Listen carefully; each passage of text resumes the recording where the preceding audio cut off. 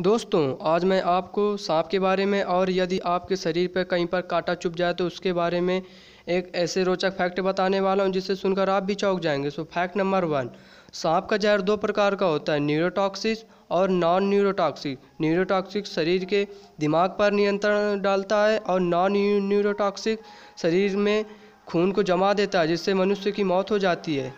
Fact number two, दोस्तों, आप कहीं पर जा रहे हो या कहीं पर टहल रहे हो या किसी कांटेदार पेड़ से आप जैसे बेर तय तोड़ रहे हो, यदि आपके कहीं पर कांटा चुभ जाए तो उसको निकालने के लिए मैं आपको एक बहुत ही रोचक फैक्ट बताने वाला हूँ। यदि आपके कहीं पर कांटा चुभ जाए तो उसमें हींग का घोल डाल दें तो आपका कांटा अपने आप बाहर निकाल आएगा। Fact number three. आज के इस मॉडर्न युग में दोस्तों हर एक के पास मोबाइल ज़रूर है। क्या दोस्तों आपको पता है इस मोबाइल का पूरा फुल फार्म क्या है?